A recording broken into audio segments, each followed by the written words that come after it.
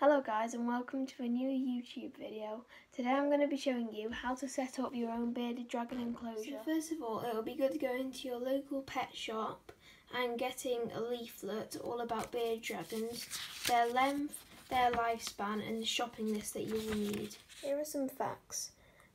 They live up to 10 to 15 years. Their length is up to 2 foot which I will show you how long is now. So I just got a measuring tape and 2 foot is this long. So the body, when it's fully grown, males always grow a bit bigger. So when it's fully grown, the body will be about that big and the tail will be about that big. So yeah, that's how long they go up to. So you're better off getting them a big tank, which I'm going to show you. So my tank is 4 foot 18, which and the bearded dragon goes up to 2 foot. So it's a reasonably big tank. A 3 foot would be a little small. So I can't even get it in the video, but it's really big 4 foot. Um, and then it's that tall. So it's quite tall as well. Um, and yeah, that's the size of my tank. So you could get a four foot and two foot, which would be the size of the bearded dragon, and that's in length and sorry, no, that's in height and width. Or you could just get the one that I've got. So you can also get different colours. So you can get um, brown, black, white. I've ordered a white one and it's coming today. As you can see behind me, right there, I have all my equipment which I'm going to show you guys now. So guys, here is our first accessory.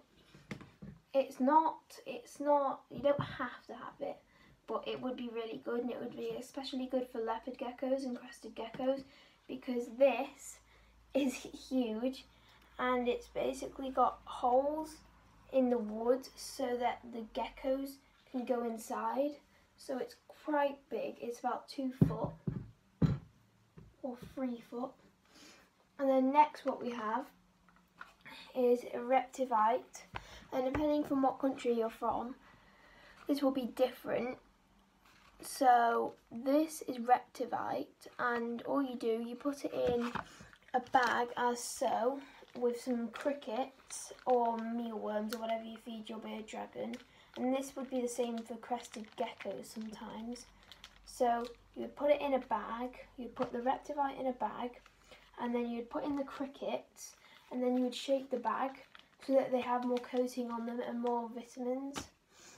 And then next, and then you can also get your leaflet from your local pet shop about like eight days and what you and what type of um, what type of vitamins and calcium you would put in with the bug. So you can just get a leaflet or ask somebody for a leaflet at your pet store to ask what type of food you would get for them. Next we have Earth Pro A, which you would put in the bag as well. So this is all just vitamins that you would put in the bag and shake with the crickets. Then we've got Calcium Pro. Next up, we have our basking lamp. And this is just like a bulb. And then you get a bracket with it. A lamp bracket with it. And it basically screws to the top of your wooden tank. Or if you've got a mesh one, then you can get a holder for it. And attach the lamp with a holder. So that's the lamp holder there. Then that's just a bulb that you screw in with it. Then you have a thermostat and the thermostat you have to have to turn up the temperature and turn off the temperature. What you would need is a, um, you don't actually need to keep on the light at night. So round about per day you'd probably keep the light on and this is the basking light. So you would keep that on for about 12 hours a day and you wouldn't keep it on at night because they can um, survive and like in room temperature at night. So that's a thermostat. And then any normal timer would work to set a timer for how long you'd want to keep the basking lamp on. Next we have uh, a UVB kit.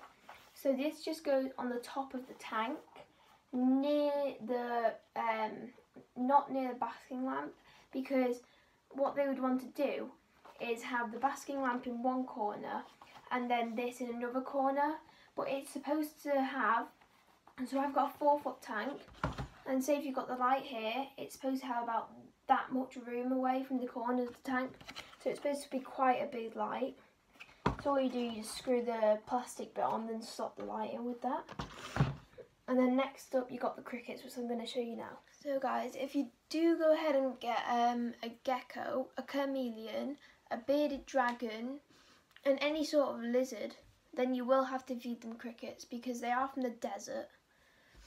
So, when when they're older, they will eat. When when when bearded dragons are older, they will eat ninety or seventy percent veg, and ten percent bugs or thirty percent bug. So when you have a baby bearded dragon, like say up to about five months or six months, you would feed them crickets about the size of a 5p. So this is the cricket pen, and you need to get them a pen as well. So this is a large one, or you can get a small one if you've got a smaller like chameleon thing. So you'd get them smaller one if you have a chameleon. I'm going to show you guys the crickets now. So guys, these are the crickets, and this is their enclosure. So not only do you have to feed the bearded dragon the crickets, but you have to feed the crickets vitamins so that the bearded dragons will get vitamins from the crickets as well. Because there you get quite a lot of crickets in a pack, therefore you can't feed the bearded dragon all of them in a week. So you'd probably have to I mean that's depending on the size of your bearded dragon. So as you can see this guy is smaller than my fingertip Oh wow, one just jumped. So that guy's four. That guy's smaller than my fingertip, and this is a bowl that you would probably get with them. And so that's the bowl, and all you get is like water crystals, and instead of them drowning because they're so small, you get um these crystal things which they eat, and then you'd also get a packet of like, it's a bit like hamster food, and it's got like, there, that's it there so it's got like hamster food and oats in it and stuff like that and like tiny bits of dried vegetables. And then when you put in your your crickets, you would normally put the egg cup in it because they like, as you can see, they like the um, darkness. And then as you can see around here, they like the darkness as well. So these are silent crickets and they're small to medium. So yeah, and I'm going to show you guys how to get them out now, but I'm not going to get any out. So guys, all you will need is these black tubes, and the black tubes, so you would hopefully get a pack, some tweezers, so say if you wanted to feed them mealworms, then you would still have to get the same enclosure, so for all bugs, you have to get this enclosure, or you can just keep them in the packets, but it'd be harder to get them out when you want to feed your beardie. So these are the tweezers that I got with my pack. And then I, because I got a large, if you got a small, then you normally get two small ones of these. So because I got a large one, because we might as well get a large, all you do, because you have these little vent here, these vent things here, but because crickets like the dark, they would go inside and it's got, I don't know if you can see that guys, but it's got little rigidy bits so that they don't fall down. So they can also hang on to those rigidy bits. So if you turn it round, as you can see there's little vents here, they're open. So I'm not going to actually get any out because I've not got my beard dragon yet, obviously but I will do when I have my baby. So you put it in the vent like that and let it fall to the bottom. So you put that 10 minutes in your feed because it takes them a while to actually find out where the tube's going. And then, for example, when you put the tube in and you can just look from the other side and see that there's crickets inside, quickly pull it out, turn it upside down, and I don't know, put something like this is the nearest thing that I could find.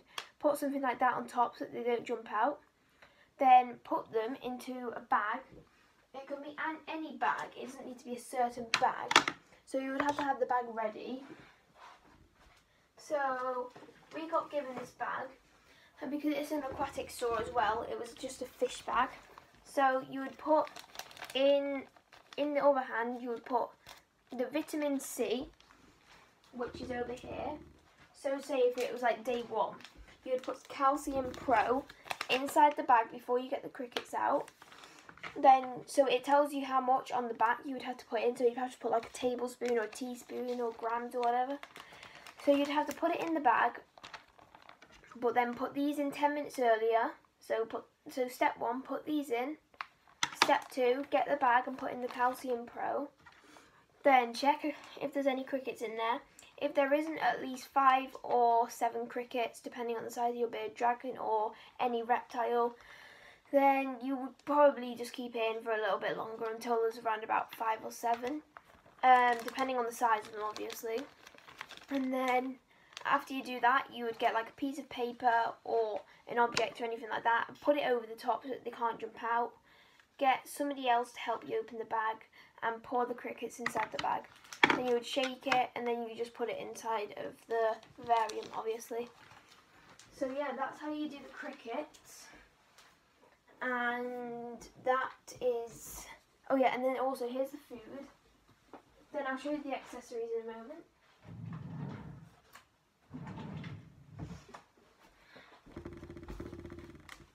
So guys, this is the food. So first of all, when we got the pack, God, that's hard to open. So first of all, when we got the, the, the cricket, so it's just called cricket pen, you can get it online. I would recommend getting a large one. Large ones are about £15, smalls are about 10 So this comes with it, and if you have any mealworms, you can put them and slide them on the dish. So they'll crawl up onto the dish, and then you can just take them out because they don't jump, obviously, because they're not crickets. So you just put the mealworms in there and just scoop them up. Or you could get them with tweezers. Depending if you get that with your cricket pen. Most cricket pens are the same.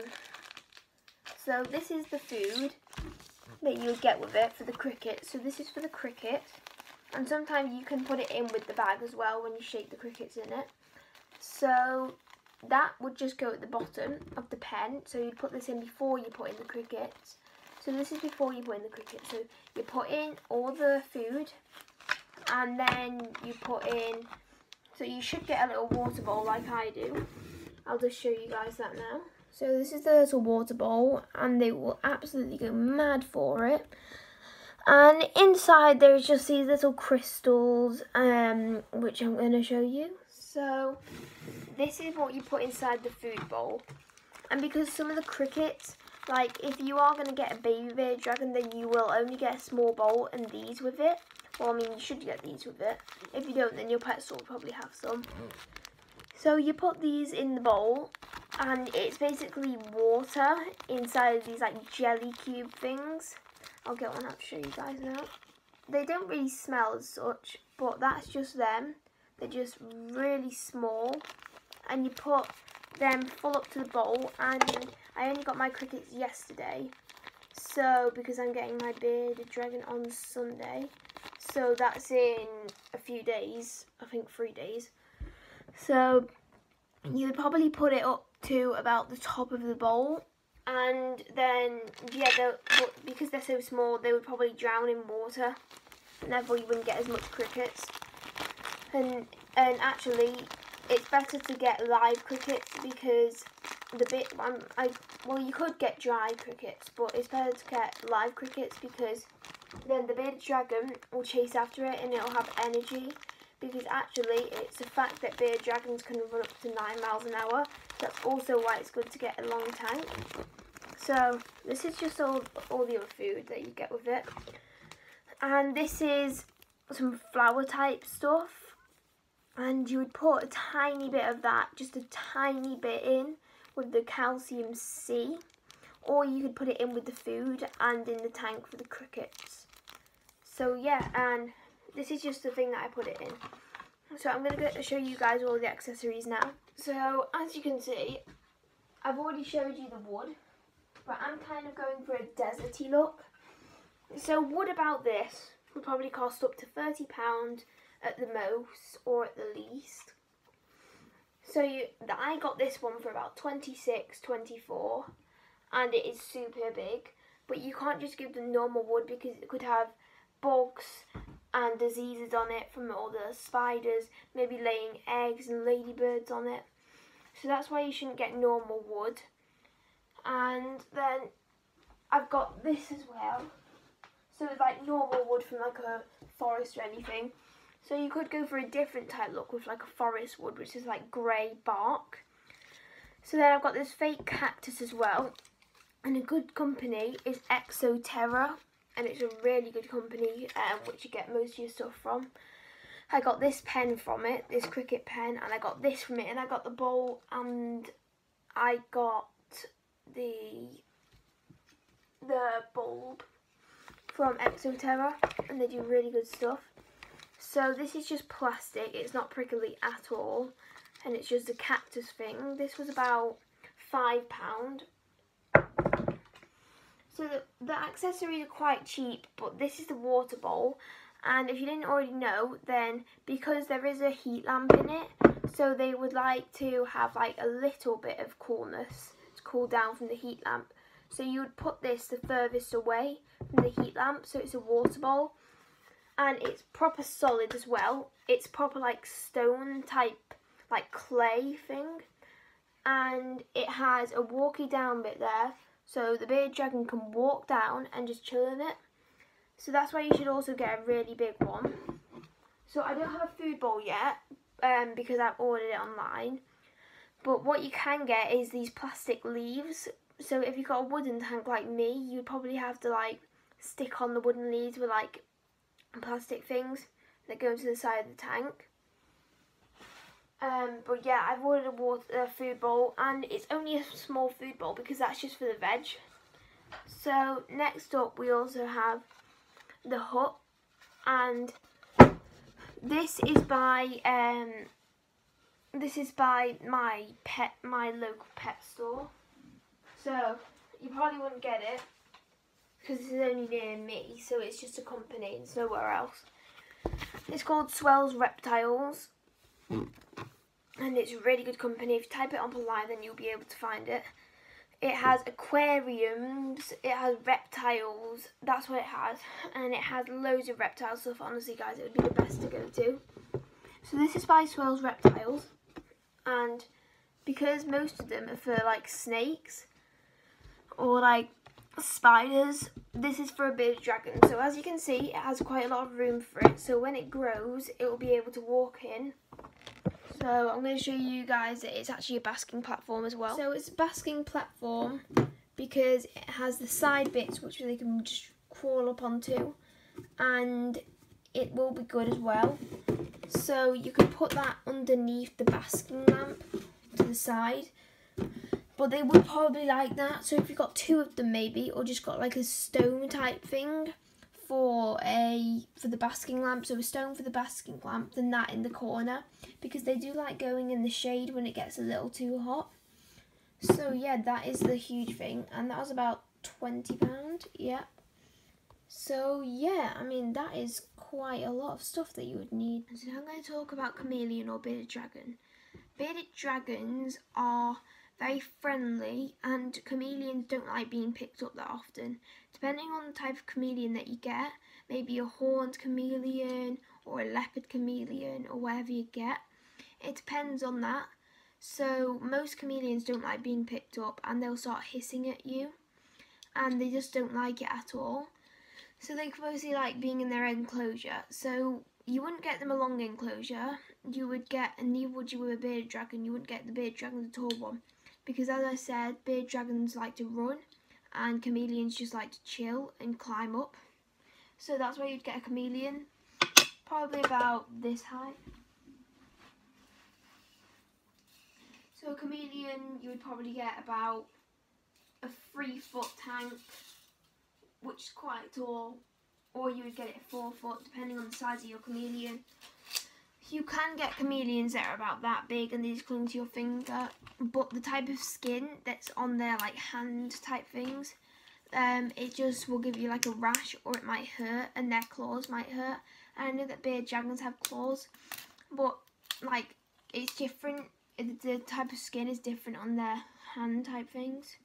So yeah, um, but uh, bearded dragons, they are very friendly and chameleons. If you're that type of person that would wear a glove or it would sit on your shoulder, then yeah, that would be good if you had a chameleon for that. But uh, yeah, I would if you were like a, um, a kid or anything or like a child. I would mostly go for like a bearded dragon because they are really friendly and if you really like holding creatures then they are really friendly. So I'm going to talk about the temperatures now of the of the bearded dragon's enclosure. So the temperature for a baby bearded dragon, so that would be about 0 to about 3 or 2 months. That would probably be about um, probably about 30 to 32 degrees and you just do that on the thermostat which is this.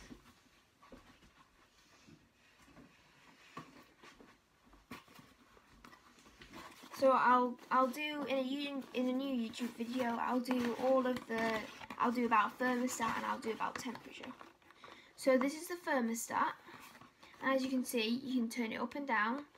So my one goes up to 80 degrees and then it also goes up to no no sorry my one goes down to 26 not 80 26 to 40 degrees so you'd probably have to keep an eye on this and also at the end somewhere. Oh yeah, here. Oh yeah, sorry, you can't see. So this is a, what do you call it, a temperature tester, so thermometer. And you just put it in the tank at the top maybe. And you just put some like, these things where you knock it in at the top so that it holds on. And so I'll show you guys my whole um, my whole enclosure when I've got it. So it should hopefully be here today. So you just turn up the temperature with that and that and you plug it into a wire and then you plug the bulb into this and it will just test the temperature as well. So guys, that is all for the YouTube video and that is the first video that I've possibly made in about two months. So I hope you like this YouTube video and be sure to check out my videos about thermometers and temperature and all that stuff and all the accessories that you can get. Okay, bye. Okay, guys. See you later.